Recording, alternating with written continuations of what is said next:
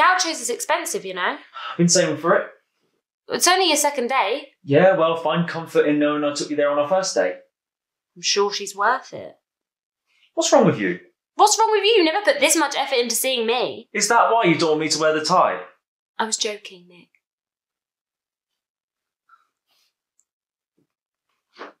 I just think you need to speak up and be bold about what you want instead of playing taboo with your truth. I didn't know my capacity for articulating myself invalidates my love for you. I guess we all have our different love languages. What does that mean? It means we've been through so much shit. I just don't understand why you can't be real with me. You know what? Wear the ugly little tie. I hope you enjoy the day. You don't have to bottle everything up. Call me later. Let me know how it went.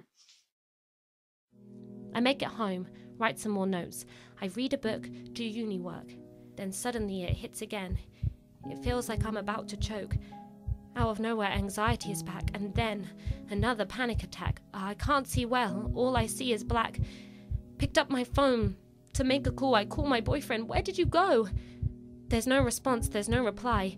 If he doesn't answer, I will cry. Relied on him, he let me down. Again, alone, no one's around. I try to breathe, I try to chill.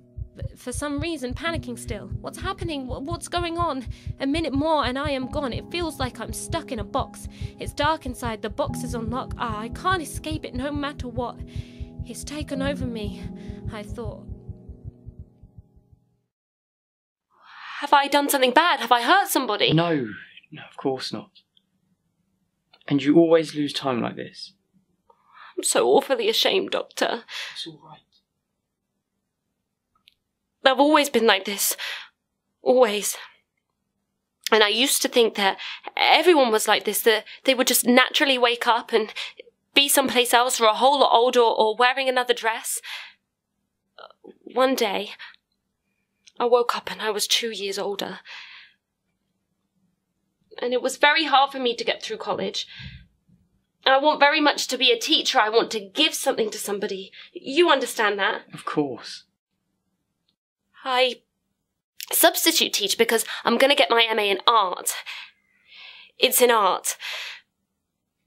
Oh, it never happened before in front of the children, but, but things have been getting a whole lot worse lately. I can't do anything. Study, and then I woke up and I was in the water and the children saw me. Sybil. Oh, please, don't touch me. It hurts me.